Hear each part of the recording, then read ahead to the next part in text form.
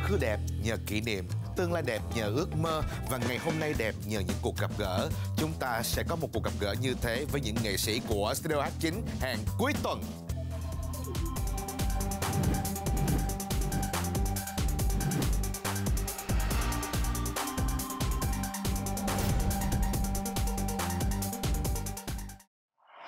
Hiện nay chúng tôi đang ở trong tâm trạng không được tốt khi nhìn thấy mặt nhau lắm.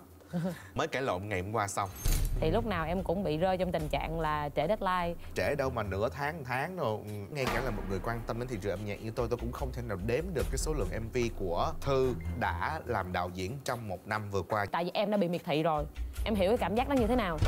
Và à, đinh huyền thư mở ra tên ai thì sẽ nói xấu người đó. Nói xấu luôn á hả? Không gì ai ai ai ai? Chị của em. Hồ ngọc hà Quý vị khán giả thân mến, hôm nay chúng ta sẽ gặp gỡ một nhân vật được xem là vừa quen vừa lạ với quý vị. Quen là bởi vì quý vị đã tiếp xúc với rất nhiều những sản phẩm của nhân vật này. Nhưng lạ là bởi vì hiếm khi quý vị nhìn thấy nhân vật này xuất hiện trước công chúng. Và xin được phép giới thiệu với quý vị đạo diễn Đinh Hà Uyên Thư. Xin chào quý vị khán giả. À, bật mí với quý vị luôn là hiện nay chúng tôi đang ở trong tâm trạng không được tốt khi nhìn thấy mặt nhau lắm. À, mới cãi lộn ngày hôm qua xong cái lộn xong à, thật ra là một cuộc cuộc họp của một cái dự án khá lớn à, tâm huyết của cả hai đứa à, và vì vậy cho nên là phải uh, cãi cái nhau lộn. Tuy nhiên nói từ cãi nhau để quý vị hiểu được rằng là tất cả chúng tôi sẽ sẵn sàng đem tất cả mọi thứ sẵn có trong trái tim và khối óc của mình ra bày biện ra để cùng làm việc với nhau. Nhưng ngày hôm nay sẽ giúp cho mọi người nhìn thấy Đinh Hà Uyên Thư ở một khía cạnh khác hoàn toàn. Sẽ không có một cuộc cãi lộn nào trong ngày hôm nay cả mà đầu tiên anh làm hòa liền bằng một à. cái cụm ly mời anh Yo. Bây giờ xin mời quý vị chúng ta cùng đến với phần đầu tiên của chương trình đó chính là gói câu hỏi nhanh dành cho nhân vật. À, Thư đã sẵn sàng chưa? Dạ vâng ạ.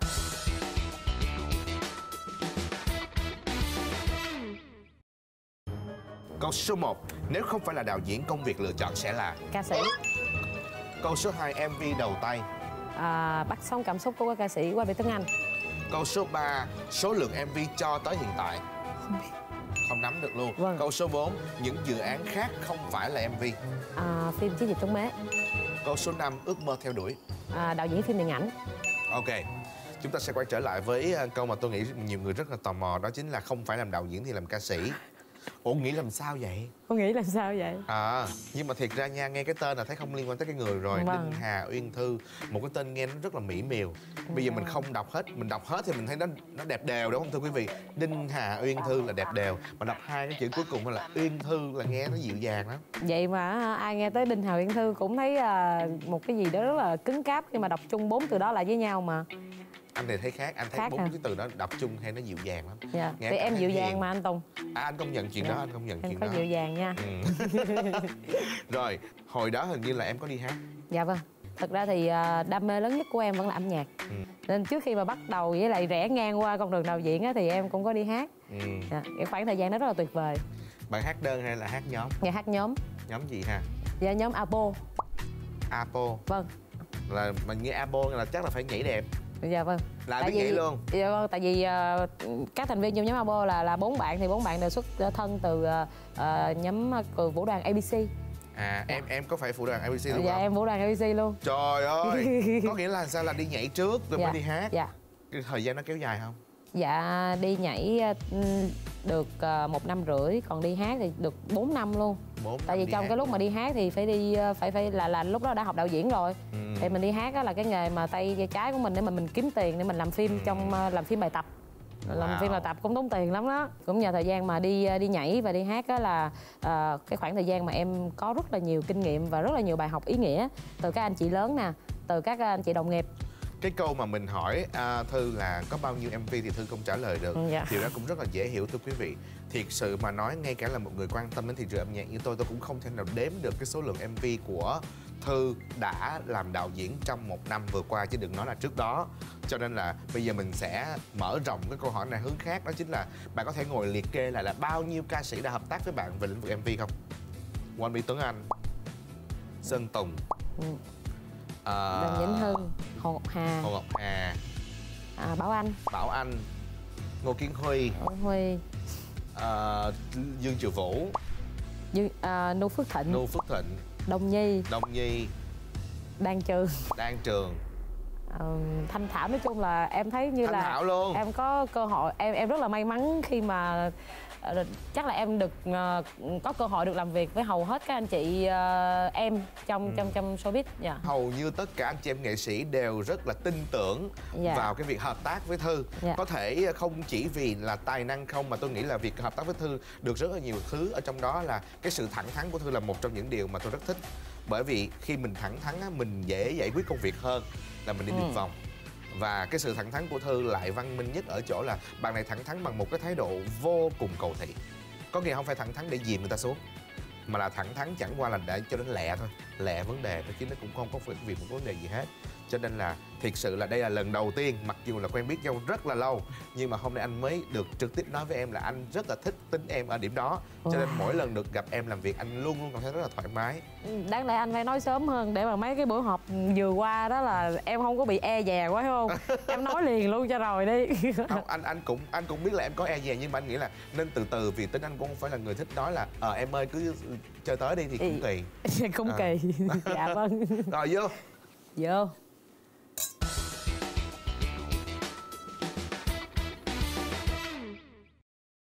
Bây giờ sẽ là từ khóa của chương trình dành cho Đinh Hào Yên Thư Đạo diễn vàng trong làng MV Giống như hồi nãy mình mới nói á Là hầu như ai cũng đã hợp tác với em hết yeah. Dạ. Nếu bây giờ mình đứng ở một cái cạnh rất là độc lập không phải là Thư Mình nghĩ tại sao mọi người muốn hợp tác với mình à, có có người đã nói rồi ừ. nên mà cái đó cũng là suy nghĩ của em ừ. đó là trước hết đó là em có một cái ờ, đồng điệu về âm nhạc với ừ. lại các ca sĩ tức là ừ. khi mà em nghe cái bài hát đó thì em sẽ có những cái phân tích và những cái nhận định và những cái hình ảnh nó nó nó gần giống như là cái mà ca sĩ mong muốn và ca sĩ tưởng tượng ừ. thì em nghĩ cái đó là là là một cái mà em connect được với lại uh, ca sĩ dạ. ừ.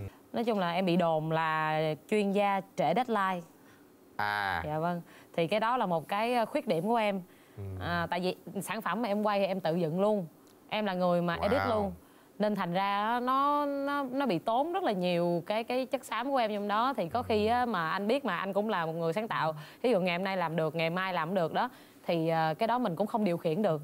Thì lúc nào em cũng bị rơi trong tình trạng là trễ deadline.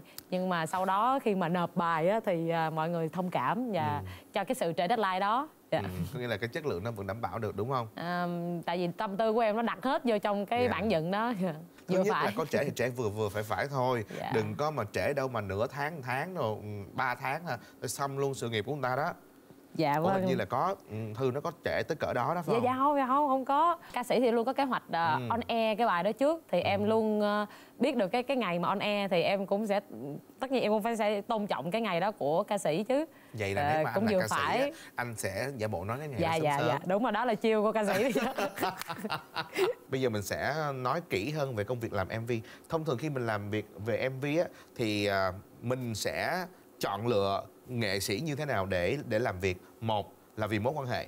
Hai là bởi vì mình nghe cái bài hát đó mình cảm thấy là mình có ý tưởng hay và mình sẽ làm. Dạ vâng anh vừa mới nói luôn hai tiêu chuẩn của em luôn. À. dạ tại vì à, làm cũng lâu năm trong nghề rồi thì em có những cái mối quan hệ em rất là tôn trọng. Khi mà à, những anh chị đó bút một cái là là làm thôi không suy nghĩ. Ừ. còn à, những khách hàng hoặc là những ca sĩ mới thì em xin phép được nghe nhạc trước. Dạ à, khi mà mình nghe nhạc rồi á mà mình cảm thấy là cái bài này là mình có thể làm tốt ừ. thì mình sẽ xin nhận. Còn nếu mà không thì mình em em cũng sẽ tưởng tượng ra được uh, những đạo diễn nào mà hợp với lại bài đó thì em sẽ em em sẽ nói với họ luôn. À, dạ, em sẽ xin từ chối, chối và mình vẫn giúp dạ, họ. dạ. bà đánh giá như thế nào về thị trường mv hiện nay với cái việc xây dựng các cái phong cách khác nhau của các cái mv rất là khác nhau? Dạ tới khoảng chừng uh, 2 năm gần đây thì em uh, nhìn cái tổng quát chung của thị trường MV thì em cảm thấy rất là là tự hào và rất là vui thật sự rất vui. Tại vì uh, cái chất lượng âm nhạc cái chất lượng hình ảnh của các bạn đạo diễn hiện giờ mà xây dựng nên nó nó đang đi rất là là nhanh. Ừ và với một cái tốc độ mà em nhìn vô mà em học hỏi được rất nhiều. Em nhìn vô em còn phải wow xong mà em phải pause lại rồi em em học hỏi là các bạn đã làm cách nào để mà ra được hình ảnh như vậy. Đó và cái cách kể chuyện của các bạn rất là trẻ và rất là là là là, là văn minh. Ừ. đó, nên em đây là một cái tín hiệu rất là đáng mừng cho cho thị trường à, MV của Việt Nam. Ừ. nha có thể nói là MV ca nhạc có nghĩa là video clip ca nhạc thưa quý vị. Thì uh, uh, nó cũng đi theo những cái trào lưu dần dần khác nhau. Ví dụ dạ. ngày xưa là mv là chỉ cần à, có cảnh là được rồi đi vâng. ra công viên quay là cũng được không đi đi trên bãi cỏ rồi băng qua đường rồi à, nói chung là chỉ cần đi đi đi lại lại là xong một cái mv sau đó đi tiến lên thêm bước nữa là tìm những cái cảnh độc đáo khó có người biết ví dụ như là nước những ngoài. cánh rừng rất là xa nước ngoài. rồi cảnh tuyết rơi vân dạ, vân cảnh ở nước ngoài ít khi nào mà có thể trùng lắp được với người khác dạ. rồi bây giờ tới một cái giai đoạn mà mv việt nam đặt cạnh những cái mv khác mình cảm thấy mình cảm thấy rất là tự hào là bởi vì mình không có bị quá xa dạ. không có quá cách không, biệt đúng rồi đúng không nhưng mà dẫn tiếp là cái số tiền để làm nên một mv bây giờ nó cũng rất là lớn vâng ừ. hôm bữa tôi có nghe chia sẻ của một bạn ca sĩ đó là hồi trước em làm mv có hai mươi mấy triệu à mà bây giờ là tới cả tỷ rồi à, đúng à, em cũng thấy là rất là xót xa về cái cái cái cái, cái khoản uh, kinh phí.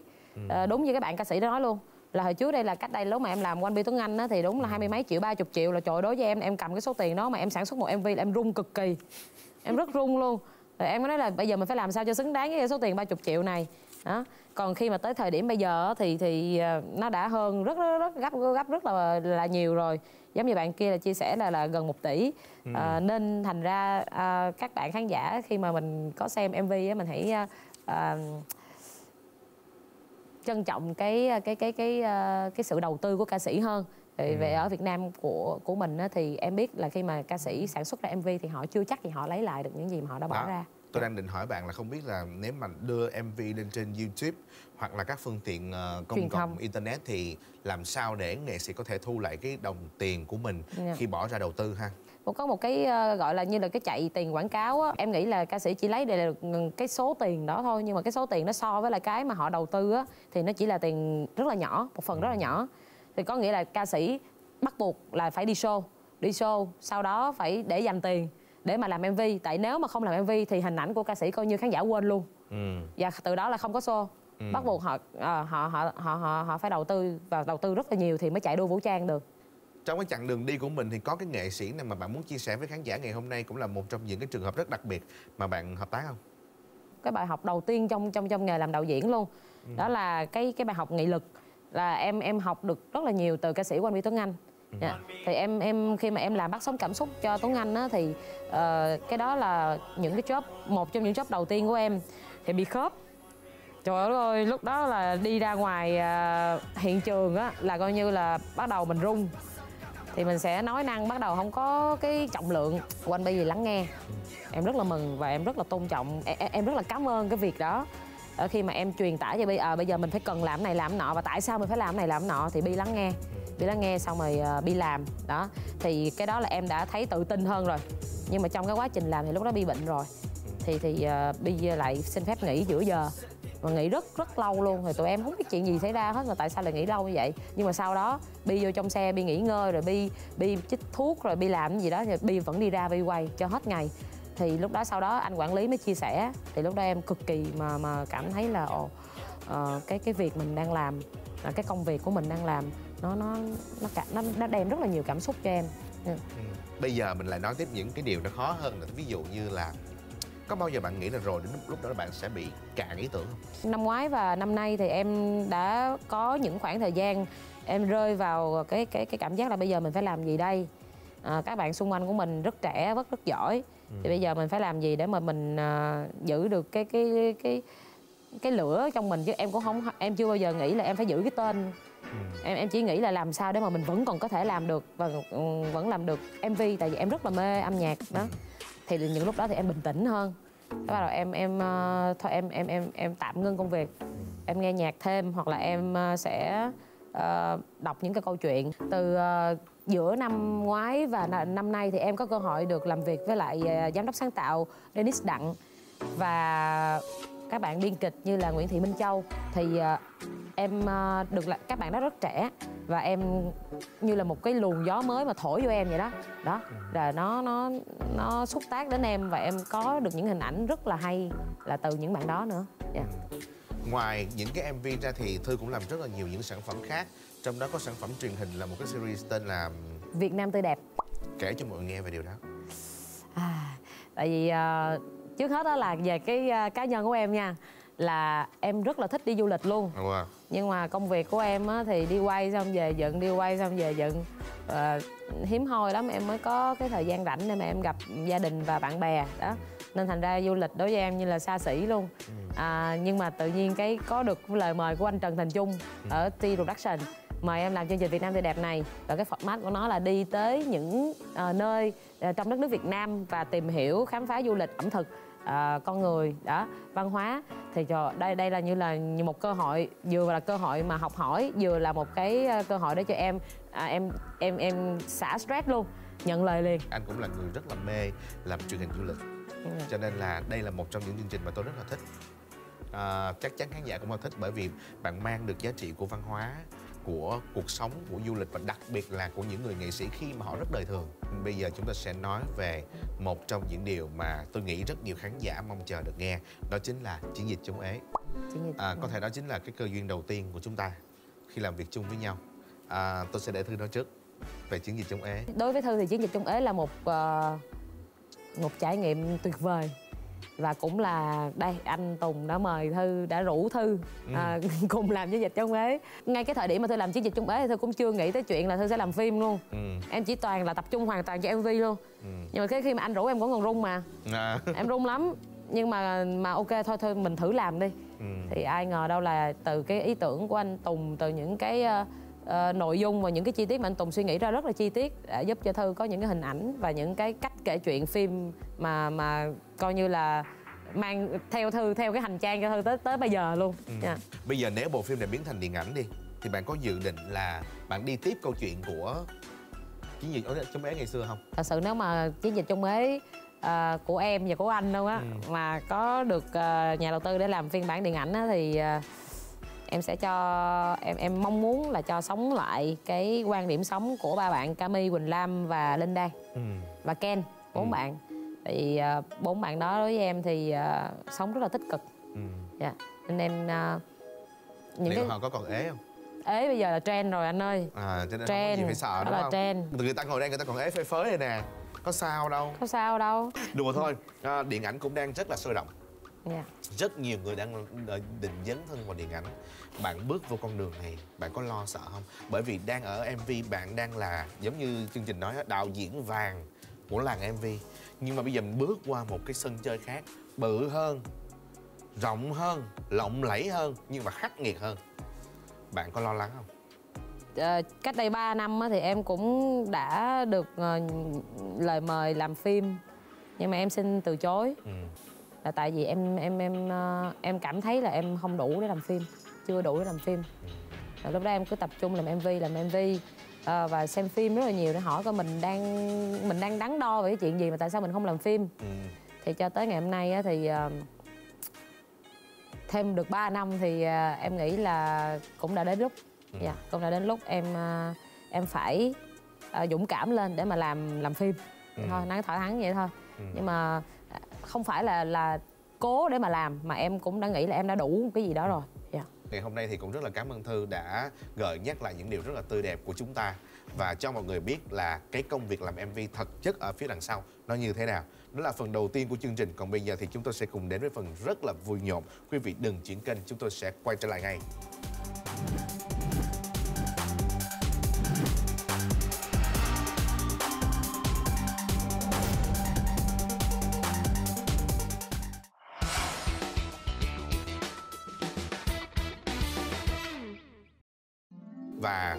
quen thuộc. Thưa quý vị đây là đạo diễn vàng của làng mv còn đây là những lá thăm vàng của làng làm biên tập. Thưa quý vị chúng ta cùng đến với mật mã giải trí. Lần này là những uh, lá thăm có tên của những nghệ sĩ và uh, đinh huyền thư mở ra tên ai thì sẽ nói xấu người đó. Nói xấu luôn á hả? Nói sự thật có thể hơi xấu về người đó. Ok. Ừ. trong quá trình làm mv nha. Gì đó? Ngô kiến huy. À À ok, Ngô Kiến Huy trong cái lá thăm vàng này xin lỗi Huy rất là nhiều nha. Nhưng mà tại vì cái này là bắt chương trình bắt buộc Thư nói thì Thư phải nói thôi. Đó là um, khi mà đi quay MV Ngô Kiến Huy á uh, quay đêm không thôi. Cái năng lượng của Huy á không có để dành để quay đâu anh. Năng lượng của Huy á để dành để đi chọc người ta, đi chọc ekip. Đi chọc luôn cả team thiết kế, luôn cả team ánh sáng luôn cứ chọc ghẹo người ta vậy đó cho người ta kiểu mà bực bội lên vậy đó bắt đầu cười hề hề, hề cái đi chỗ khác rồi ăn ăn rất nhiều. Em đã nói là người của huy bây giờ rất là cân đối nhưng riêng cái bụng vẫn chưa cân đối. Cái bụng của huy thì huy huy vẫn chưa giải quyết được cái bụng. Nhưng mà thương nói là ăn ít ít thôi. Rồi cái gì uống thêm cái gì đó để uống c gì đó để mà có thêm năng lượng để quay nó không. Ăn cơm đoàn ngon quá là ăn uống hai ba tô ra ăn thôi. Rồi tiếp nè thôi giờ cho chọn đi không mất công nói người ta. Đây một cái huy nằm bên này xong. rồi, chọn đi. Đó gì ai ai ai ai chị của em. Hồ Ngọc Hà. Nào, đạo diễn vàng trong làng MV Hãy nói xấu ca sĩ vàng trong làng giải trí đi nào. Thôi thì bây giờ tại chị Hà quá hoàn hảo rồi em cũng không biết nói xấu gì nữa thiệt. Ừ. nhưng mà có một cái chuyện rất là vui. Cái ngày đầu tiên luôn lần đầu tiên mà được uh, uh, hợp tác với chị Hà luôn.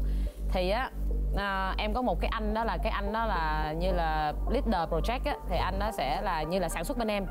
Thì anh mới nói thư thư uh, mày quay lại đi chứ nãy tao đi ngang qua phòng make up của chị Hà tao nghe chị Hà nói như vậy anh kể lại cho em nghe chị Hà nói vậy nè bên ekip của thư quay quá lâu thôi mốt không có làm việc nữa ừ. coi như lần này là lần đầu tiên cũng như lần cuối cùng luôn ừ. không quay nữa ừ. trời đất ơi mà đang quay mà chưa quay xong luôn là em ra em nghe cái tin đó coi như là nước mắt em rơi luôn rồi em run thêm nữa là coi như mấy cảnh sau đó là coi như là em em buông luôn á ừ. là em chỉ quay theo đúng kịch bản thôi chứ coi như là em đang khớp quá rồi.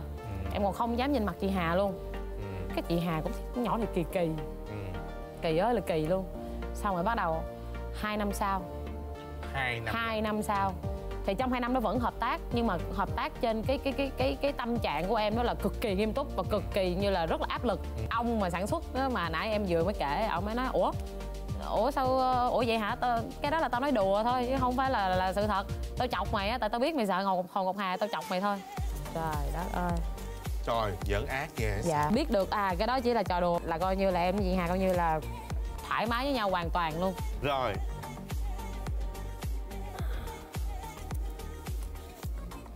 Sơn Tùng MTV Bạn này hả? Bạn này thì đó như nãy em nói không cần nói thì mọi người cũng tự mà biết luôn Là thần thái với lại chất ngút ngàn luôn rồi. Chất chân sần quất. Quá chất ngay cả cái chuyện mà em trễ deadline mà cái trễ deadline mà đáng nhớ nhất trong cái sự nghiệp của em luôn là cái bài lạc trôi đó. Ừ.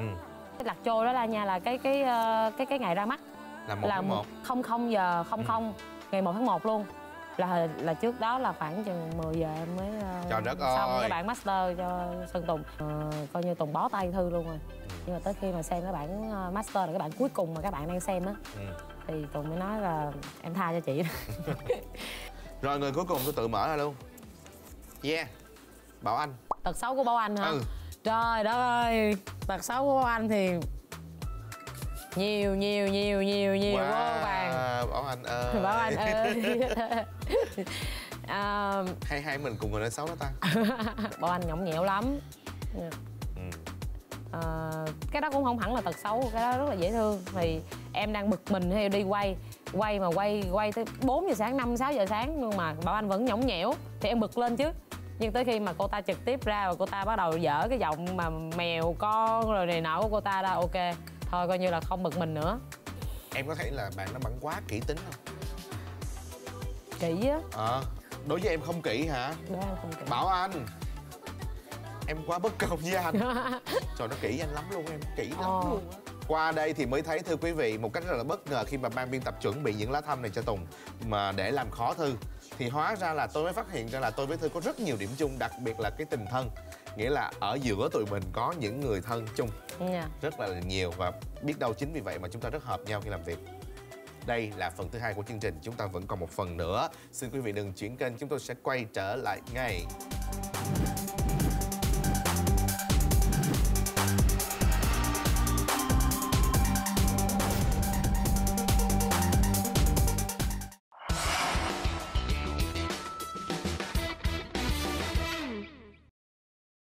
vẫn là chiến dịch WeDo, một chiến dịch kêu gọi tất cả nghệ sĩ khi tham gia vào talk show này sẽ nói lên chính kiến của mình để đóng góp một phần vào việc uh, giúp cho cuộc sống càng ngày càng văn minh hơn. Ừ.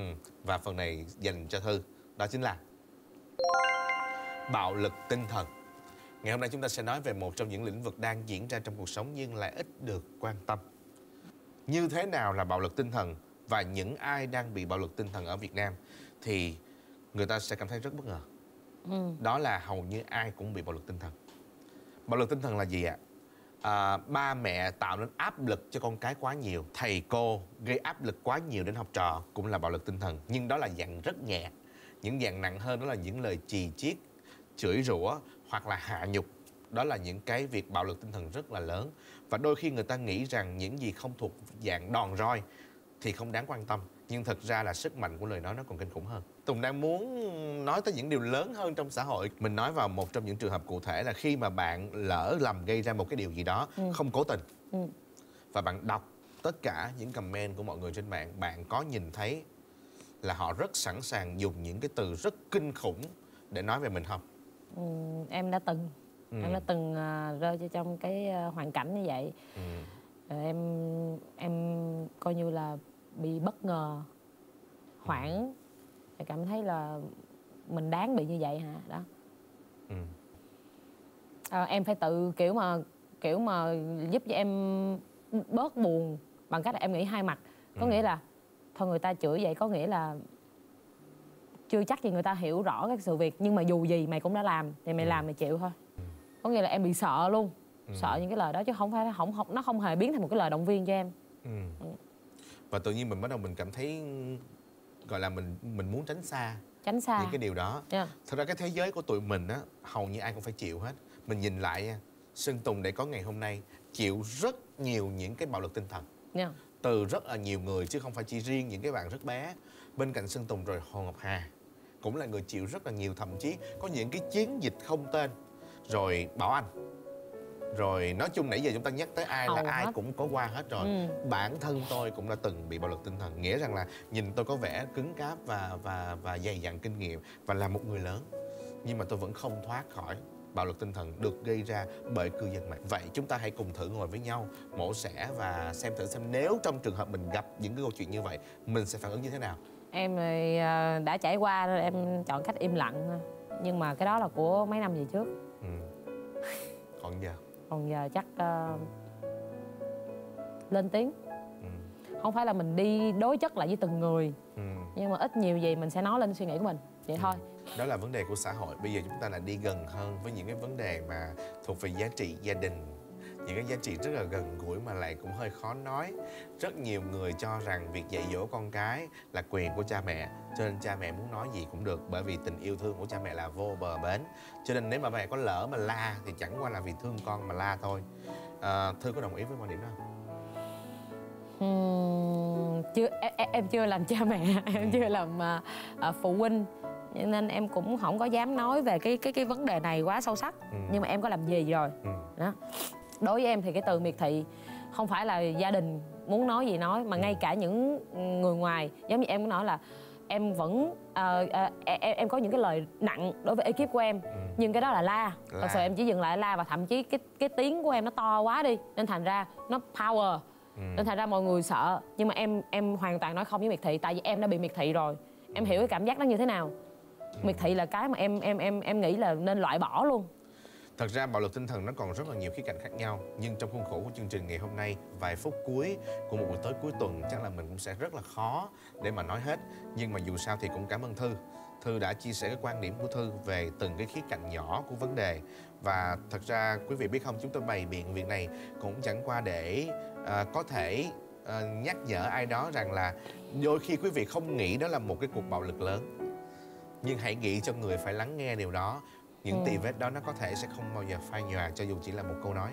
Thì uh, thư uh, thú thật là là nạn nhân của của của bạo lực tinh thần. Uh, tại vì giới tính nè uh, hoàn cảnh nè đó uh, rất là nhiều rất là nhiều thứ. Nên uh, thư đã từng là nạn nhân rồi nên uh, cảm chia sẻ luôn là thật ra nó cái nỗi đau đó nó mang theo suốt cuộc đời chứ không phải là nó nó nó sẽ lành theo năm tháng nên uh, ngay cả bản thân thư luôn và khán giả luôn thì chúng ta uh, nếu mà có những cái uh, những cái lần mà lỡ lời hay là những cái mà hành động hoặc là những cái lời nói mà nó nó nó có thể quy vô trong gọi là bạo lực tinh thần thì chúng ta sẽ uh, chúng ta nên xem xét lại và nên hạn chế nó. Dạ. Cảm ơn Thư rất nhiều đã đến với chương trình của chúng tôi ngày hôm nay quý vị thân mến đừng để mình phải gặp nỗi đau rồi mới biết kềm chế việc tạo ra nỗi đau của người khác. Đó chính là điều mà chúng tôi rất là mong muốn quý vị có thể có được sau chương trình ngày hôm nay với thông điệp mà câu chuyện mà tôi và uyên thương mang tới. Rất cảm ơn quý vị đã cùng theo dõi chương trình này. Hẹn gặp lại quý vị ở những lần sau.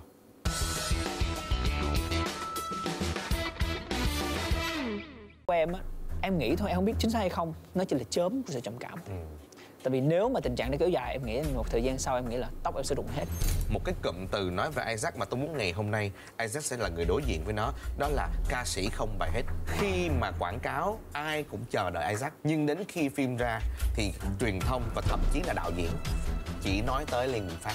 Chính vì cái số khó tính của mình làm cho mình cảm thấy stress nhưng mà khi mà đi quay phim với nhi không bao giờ em stress được.